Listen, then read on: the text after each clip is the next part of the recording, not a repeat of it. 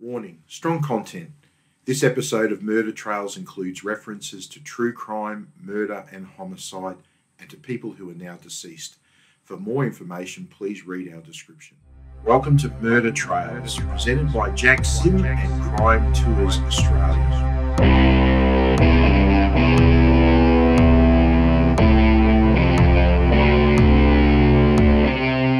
Hello and welcome to Murder Trails, Season 1, Episode 1, the build up to the Whiskey Au Go Go. I'm Jack Sim, Director of Crime Tours Australia and publisher and author of the Murder Trails book series. And joining me here in my skull cave is, is uh, pretty spooky, I tell you.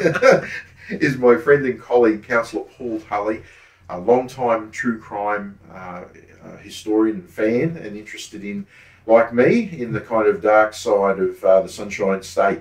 Absolutely. Paul. yeah, thanks. Uh, it's great to join you, Jack. Well, today we're going to be talking about the Whiskey Au Go Go. And 50 years ago, this year, 2023, on the 8th of March 1973, uh, what was at that time Australia's greatest act of mass murder, at least in the 20th century, uh, took place here in Brisbane, in Brisbane's very well known Fortitude Valley. Um, it was a terrible thing. Uh, it was only eclipsed by the, the horror, horrific uh, uh, crime committed by uh, Martin Bryant at Port Arthur in the 1990s. But at the at, in the early 70s, I mean, this was a hell of a thing. Paul, you're a bit older than me. You, you remember what how it affected Brisbane. You know, can you share with us what it was like? Absolutely. It was a, a Thursday morning. Um, yeah, I still recall it well. I had just been in the uh, Commonwealth Public Service for about a month at that stage, and uh, people woke up shocked. Um, all radio stations were, were running with the uh, story. It was a bit after two o'clock in the morning, but for 15 people to, to die in such horrific circumstances um, was extraordinary. It, you know, Brisbane was still getting it out of that country town sort of thing that's been talked about for a long time. You know, after World War War Two, the trams had um, just stopped running in 1969. It was a, a pretty laid back sort of uh, you know city, and uh, for that to to happen in in Brisbane just shocked people. You know, in Queensland and around Australia, it, it was a terrible crime and something I guess people thought would never come to sunny Queensland. At that time, the newspapers were full of stories about the IRA bombings in London, the Irish Republican Army trying to drive the British out. You know, it, it, it- that was the sort of thing that seemed like a world away. uh, li- literally was a world away, and no one thought that you know that sort of crime would, would come to Queensland, but but it did, and uh, of course there'd been the lead up to it um, with a lot of publicity, and there was a, uh, I guess, an expectation, but people might have put it down to journalistic speculation. Uh, but it wasn't it wasn't purely speculative. It actually happened, and um, yeah, there'd been some earlier um, similar offences, not where people had died, but um, it, it was terrible. 15 people ranging in age from 17, I think, through to 50. Um, 15 people from 17 through to 50. That was terrible. And uh, yeah, I was looking recently at the um, uh, where they came from. There were uh, 12 of them from Brisbane, two from Rockhampton, and uh, one from Ipswich. So uh, a whole range of ages. But it, it was a crime that stunned the capital of uh, Queensland.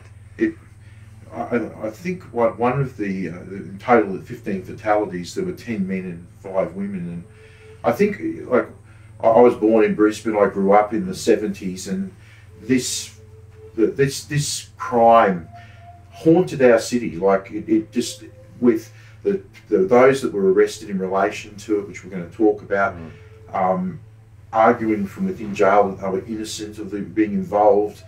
Uh, the ongoing problems with police corruption and the wider community being aware of uh, criminal elements operating seemingly with impunity through the 70s and 80s. This crime didn't just kill those people, it continued to trouble our society for decades after. And still to this day, 50 years down the track, we still don't really know exactly what the hell happened on that fateful night in March 1973. But one thing I do know, Paul, is that quite often when people are reminded about this case on our crime tours or through my books, is people are often unaware, as you were saying, that there was a build up to the Whiskey Au Go Go. This didn't just suddenly happen. There'd been a foreshadowing of it through a series of violent acts um, that, that were in the build up to the actual uh, actual case. And that's what I thought we might talk about on today's episode was Yeah, to look absolutely. at that. Um, the, now the Brisbane nightclub scene was becoming in, increasingly violent around this time. Uh, to explain uh, what you sort of, I know you probably didn't go out to nightclubs a lot. Oh, but- yeah, a but was, was it was it what, what was it like the nightclub Well- scene in the early seventies in Brisbane? Yeah, it was sort of interesting. That that was a major attractor for yeah for people. The yeah, different nightclubs and um, yeah, Torino's in the valley and Checkers in Elizabeth Street in the heart of the city. I didn't spend a lot of time. I even remember one that doesn't feature in this thing, Willie's Bazaar, Oh, up right, near the yeah. uh, yeah Willie's Bazaar. And Willie, uh, you know, she had hair out to here, something like that. Yeah, but it was where people went. It There wasn't was a a lot National, the National Hotel. I think it was running at this time. with The National state- Hotel was still there. bar. Um, I think Cloudland still existed, you know, where people wanted you know, more regular regular um, disco and dancing. Um, but it was the sort of place that uh, places that attracted people to to go there. And uh, these different nightclubs, a lot of them were financially, you know, quite successful, but not all of them. Not all of them, that's right. Well, at, at that time, Brisbane had 12 licensed cabaret clubs. Like, that's extraordinary. I don't know if Brisbane's got 12 of them now. Like, Well, I suppose you and I aren't checking at the moment, but it, really was the, the night scene because there wasn't a lot lot to do. Yeah, you know, even pubs in those days, the uh, just ordinary suburban hotels weren't into you know having a lot of music and entertainment there. So lots of people, whether they're from Ipswich, Redlands, you know, and surrounding areas, they'd head into the Brisbane CBD and Fortitude Valley to to, to go to these nightclubs. I, I was I was quite surprised as I've been doing research um, through the State Library of old newspapers and archives. And I've got to thank my researcher Annie, who is very very good at her role. She, a young lady who spends time trolling through newspapers for a boss, you know, uh, who I send her on some quite wild uh, adventures reading papers. Newspapers, something that she's never really even, Right. you know, experienced Yeah, before. Um, but help Annie helping us with preparation for today's episode, she found some great information. I mean, one of the articles I found was talking about the the licensing arrangements for these cabaret clubs, which is really quite fascinating. In those days, the licensing branch of the police looked after the licensing, as I understand it, and night uh, not uh, cabaret clubs, nightclubs had were not allowed to open before seven p.m and but they and they had to cease serving alcohol by 3 a.m. They could still be serving a drink at 3 a.m. and patrons could keep drinking till Yeah. 3:15, I think it was a.m. Yeah. Um, it's just interesting. Like there was a time period in the 1990s and 2000s where clubs and hotels in Brisbane were, were, had, had, didn't have anything like that degree of liberal Well, liberalness. Yeah, and that, that were in the days when uh, the uh, drinking age was still 21. That didn't change uh, till 1974. Um, can I say, and I don't want to um, dob myself in, I know the statute of limitations would probably protect me, but um, there were plenty of people who were, um, and, and young girls as young as 15 would, would in some cases look 21 and 22, but the licensing branch was around. They were in hotels, they were coming to the cabaret, the nightclubs uh, for underage drinkers, um, but that was pretty, pretty pretty normal for, for people underage to be drinking in those days. And then, of course, it all changed in 1974 um, when the um, Age of Majority Act um, yeah, reduced the age down to 18. Yeah, it was a very colourful scene. The cabarets of this era, some of them, um, uh, like Checkers that you mentioned in Elizabeth Street, um, you know, they boasted international acts. They had they had singers coming from the states. Um, they put on uh, what were what were uh, called in those days transvestites, so Mm. men, men pretending to be women. Um, and that, you know, that was quite you know quite risque in that in, in those days. Oh, well, the, the Premier at the time, you know, Joh Bjelke-Petersen, he wouldn't have a bar, but, you know, there was, I still remember, I think it was about 72 when he um, banned condoms from universities, you know, condom vending machines in universities. You only have to go back a few years. That's that's not possible, but yeah, that, that was the era, a very conservative era in some ways that we were living in in Queensland. It was, yeah, it was, it, I find it quite remarkable, and so did Annie in her research. You see, there's sort of like this very conservative feeling for society, but these nightclubs, these cabaret clubs and such, this is where people could just sort of have a little bit of liberalness and have a bit of fun and Let their hair down, yeah, absolutely, down, yeah, know, yeah, and that was the scene in Queensland. Yeah, you know, people would yeah pick a club to go to. They'd go there, you know, frequently and go to different ones as well. But um, yeah, that was the nightclub scene. That was the entertainment scene in, in Queensland in the you know the sixties and seventies. And these were very popular venues, but then all of a sudden, in around uh, 1973, the start of that year, things turned quite dramatically. Uh, there's a dramatic turn in terms of the perception of these places, and the first act that really the one of the one of the incidents that sort of sets off a series chain of uh, violent uh, episodes that lead up to the Whiskey Au Go Go was on the 11th of January 1973 the acting manager of the Whiskey Au Go Go nightclub um, in Fortitude Valley, uh, his his um, vehicle was set alight. Um, the, uh, the the nightclub club, the Whiskey Au Go Go, was uh, was really quite popular with with um, with a wide range of age groups and ages. Um, we'll get. I'll talk a bit more about that when we start to address the actual fire at the club. But I've got an article here, Paul, from the Brisbane Telegraph um, from um, the 12th of January 1973, and it says uh, car set on fire near nightclub. A firebomb placed in a in an old model sedan outside the Whiskey Au Go Go nightclub in the valley last night caused about $300 damage to the vehicle. That's about two grand in Mm. today's money. The car is owned by the acting manager of the nightclub, Mr. William John McLary of Clayfield. McLary said today that he left the car in a lane outside the club at St Paul's Terrace about 8 p.m.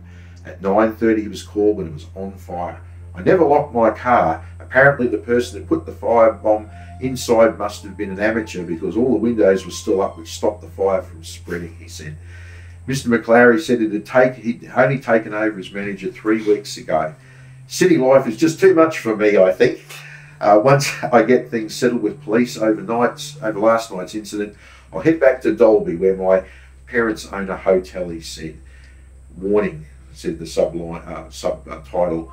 Mr. McLary said he would not go back to the Whiskey Go Go tonight because he thought last night's incident might have been a warning to him.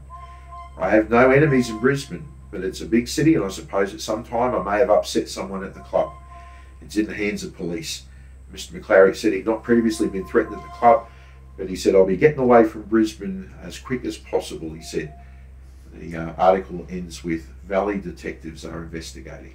Yeah, and I think that was the sort of lead up to um, setting the scene that um, people were muscling in um, on the scene, creating fear um, in the minds of their nightclub owners and operators, and just one thing slowly led to another, and it was reported by um, the newspapers of the day, certainly the Telegraph, which was the afternoon newspaper in uh, Brisbane, and the uh, Sunday Sun. It's sort of interesting how um, at that stage it was just a car. Uh, there were no deaths at that stage. But yeah, looking back, and it's easier now with the hindsight to see how bit by bit that fear was being installed in the minds of those operators. It's, it's, it, it, it was a, uh, it sort of suddenly seemed to begin this sort of series of kind of uh, news articles and public awareness that something wasn't right. Discover Brisbane's criminal history. Join me, Jack Sim, and my team of guides as we explore Queensland's fascinating criminal past. Cases we explore include the Whiskey Au Go Go, the Betty Shanks murder, and the Vampire Killer. We have a range of different crime walks and coach tours. To book a tour, brisbanecrimetours.com.au or crimetoursaustralia.com.au. Look forward to sharing dark past with you. On the 14th of January, just a few days after the, that firebombing of the club, um, one of the great journalists of Queensland past, um, Brian Bolton, known as the Eagle, I think was his The Eagle was his name. Yep. An amazing man. Often, um, he, well, he wrote for the Sunday Sun. I think it started with the Truth newspaper. It was the Sunday Truth up until the, the early um, 70s. And um, yeah, I met him first, met him um, 1972 when he was a um, crime writer for the uh, Sunday Sun. Um, had a lot of contacts um, with the police And, and, and with criminals. And too. with criminals too, yeah. But they were in the days where journalists would meet uh, criminals and uh, detectives, not together, but in mainly in hotels around the city, and they, they were able to get good stories from their contacts on both sides of the fence. Yeah, they, they worked their contacts well. They didn't breach confidences and such, but where necessary, you know, they um, you know, they aired it through the papers. It's hard. Those uh, listening and viewing might not realise, but today in a world where we've got the internet, we've got podcasts, you've got multiple channels uh, where you can learn and get information, not just uh, what was the case in 19 well 1973 what, what was what were your standard formats to find that information well you didn't you didn't have mobile phones you didn't have uh, pages um, no email, no computers. No, no emails, no computers. Um, I guess it was just a bit of word of mouth, bit of radio, television, but it was very limited. Um, Newspapers were really probably the main way that yeah, absolutely, yeah, yeah, complicated yeah. material was yeah, it? And the same way as we read on the net today newspapers were kind of where everyone got their info. Yeah, and then people talked. People talked at work. There was a lot more talking done than people walking around with something in their hand, um, you know, to get their Just information. Yeah, yeah, and that actually led to. Uh, there was a lot of rumour. There was a lot of innuendo, but I can say over the years, a, a lot of rumour and innuendo is based on fact. Sometimes the, the, the all the details and facts, um, you know, might vary from the final story, but gee, in that period of time, in the, in the lead up to the Whiskey Au Go Go firebombing, um, there was a lot of speculation which proved pretty right in the end. Yes, it was a very, uh, it was sort of a, a, slow burn, not wanting to be horrible, but it just sort of, it was a series of these incidents. Well, Brian's story on the front page of the, of the Sunday Sun was death threat to club bosses. Armed guards have been mounted on a 24 hour watch on two Brisbane nightclubs and the home of a club manager. I mean, you can't get much more. Pretty blunt. That. That's pretty like, blunt, isn't it? A second manager resigned and left town yesterday after his car was burned out by a firebomb. So this is just a couple of days later. And death threats are flying thick and fast. The two clubs are the Whiskey Au Go Go in Fortitude Valley and Checkers in Elizabeth Street.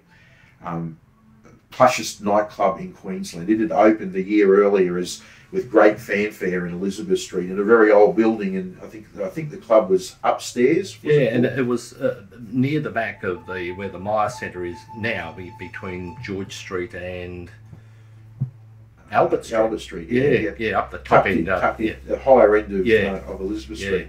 Just that was a big, big precinct there at night. People would queue up to uh, to get in. As I was saying, you know, earlier, the uh, nightclub scene was, um, you know, huge. You know, and that's people that, that's where, where people went. Just a, a, bit of background. I mean, at this time, however, both Checkers and the Whiskey Au Go Go had been placed in the hands of, of administrators. They were struggling. Huge amount of money had been poured yep. into Checkers and its layout, furnishings, fixtures.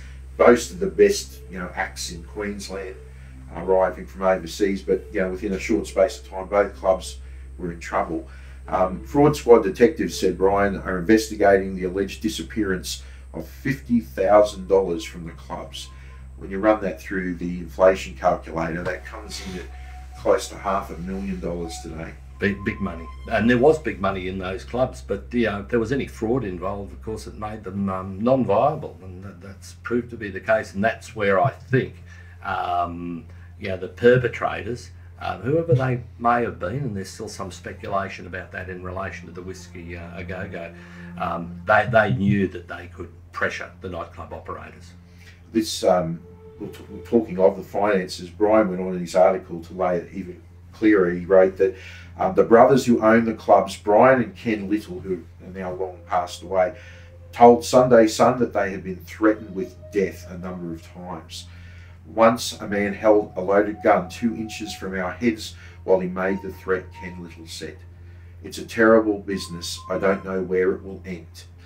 I was told recently that there were heavies in town who would take care of me, said Brian Little. I mean, this is the bad side of the Sunshine State. You know, there's lovely nightclubs bringing people pleasure and everything, yet behind the scenes is all of this going on. And it seemed to be the Sydney connection, partly in relation to that. Uh, those who'd come from Sydney saw the opportunity to muscle in um, on this industry, and um, uh, appears that they carried their threats out eventually.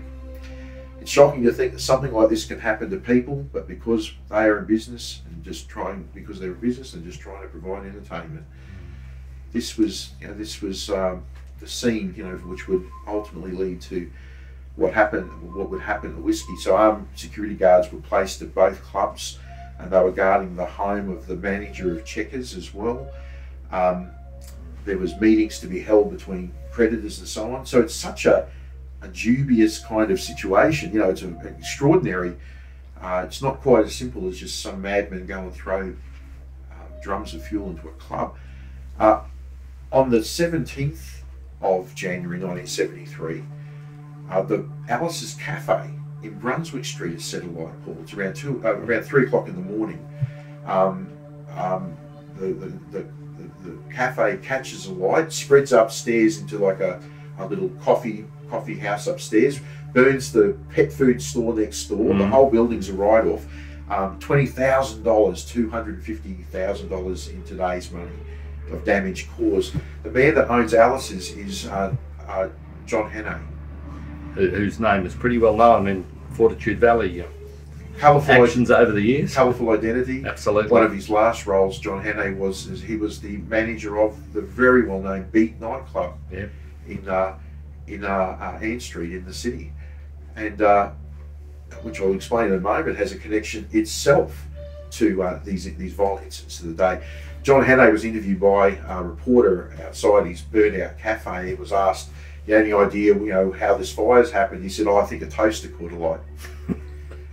Sometimes they tried to play that down because I, I, think that shows that they knew there was something serious uh, just bubbling away and about to happen, and they didn't want to, um, you know, have a shotgun to their head either. Some of some of the research I've done talking with criminal acquaintances of mine, or former criminal associates of, of these people of the era, uh, one of them had said to me that uh, John Hannay took off soon after this. Like, uh, if it was just a toaster, he said, like, that's that's no, no, he goes, John pissed off, to use his word, John pissed off left town. Be bloody big toaster. yeah. if that was the cause. Well, according, according to what I've learned, I might, you know, of course I'm dealing with hearsay, this isn't stuff that's written down no, in documents, no. but John moved to North Queensland and ran a number of pubs, hotels, entertainment venues up in Mackay and other places in regional Queensland for decades yep. before he came back to town. Something shook him up for sure you enjoy reading about true crime, the Murder Trails series explores some of Queensland's most infamous cases, including Who Killed Betty Shanks, Slim Halliday, the taxi driver killer, The Rampage of Killer Cast, and Innocence Lost, the last man hanged in Queensland. Just some of the titles available at jacksim.com.au. I'm Jack Sim. Please support my local publishing business as I explore some of Queensland's dark past. Um, and then uh, just three weeks before, uh, just three weeks before the whiskey burned, a barman at the club, his brother, uh, on the day of the firebombing, revealed that his brother had been menaced by a gunman um, who pulled a gun on him at, inside the whiskey go go pulled a pistol on him and threatened his life. Um, unfortunately, that barman was to die, one of the victims in the fire mm. as well. Then on the 25th of February 1973, completely forgotten largely now, Paul, was the firebombing of Torino nightclub yeah. in Ann Street. And just 11 days before the Whiskey Go Go. Did you ever go there? Or? Yeah, I, I, think I've been once or twice. That was just down from Brunswick Street in, uh, in Ann Street. Um, and that was a vacant club at that stage. It wasn't operating as a, as a full nightclub when that bombing occurred, but that was the the last sequence of events, I think, before the Whiskey Au Go Go uh, firebombing. That was another place that even now, even today, if you um, if I'm in, in Brisbane or coming through in the evening, um, there's a lot of activity still there. And um, but but that was that was terrible. Although there were no deaths, and I've got to say this, even though the Sunday Sun was pursuing all of these stories with a high degree of vigour, um, because there were no deaths, just a fire, another fire, another threat. I don't think it really engaged the community all that strongly, but it was heading that way. It was heading quickly. to something major. Yeah. I, I, with Torino's, it was it was on, it was a Sunday night when the when it was firebombed. It was almost certainly the case that um, the perpetrators who blew up that club entered the club through, they broke into the club and they set a drum of fuel alight uh, and then it exploded. A young couple were walking up the street at about 9 9:25 p.m. and they saw flames coming out of the, of the front of the building. But uh, Les Barbour was the criminal investigation uh, Scientific officer, branch. Yeah, think, scientific branch Yeah. of the police force. He was nicknamed. Um, my friend Ken Blanche said that among, among reporters, he was nicknamed Sir Bernard Spilsbury after the British, uh, Oh, the British, uh, uh, very famous British police scientist. Uh, but it was facetiously. yeah, of course. And Ken Blanche, of course, was the chief of staff of the uh, Sunday Sun, and um, yeah, he oversaw what Brian Bolton was was writing. And uh, you know, and I knew those um, people, and um, you, you know, to, to go back fifty years, hard to believe that it's you know fifty years that long ago. ago. And yet, you know, the, the impacts of all of this still lie on us today. Um, the police determined, at first they thought maybe it was a gas explosion, but it was determined that it was a petrol drum that had been set alight. And so it was virtually reminiscent of what was about to happen um, just, you know, 10, just over 10 days later. The uh, police at the time um, were quite eager to hose all of this down. Brian Bolton wrote another article where he talked about how um, how things were were, uh, were were progressing. And again, in the Sunday Sun, he wrote another article in March the fourth, just um, just three uh, four days before the Whiskey Au Go Go firebombing. And Brian's article is um, is headlined "Bomb Blast Heralds the Big Squeeze." Front page story. You know, this is significant stuff. Mm, Clubs told uh, clubs will be told to pay up or else. The bombing of a Valley nightclub last Sunday, Torino's, um, was just the first shot in a massive extortion racket by Sydney criminals demanding protection money from clubs between Brisbane and the border. One Sydney crime lord and another ranking crime boss are plotting to milk at least $10,000 a week. That's about $120,000 today um, from the from dozens of clubs and classy restaurants uh, and, and class restaurants. Sunday Sun investigators in Brisbane and the Gold Coast and in Sydney have been probing for six weeks the takeover of nightclubs in Queensland. Staff men talked to various veteran police, criminal lawyers, and top underworld figures themselves. One notorious hoodlum told a crime reporter, publish that story and you'll wind up in concrete boots at the bottom of the river. That's the Brisbane River.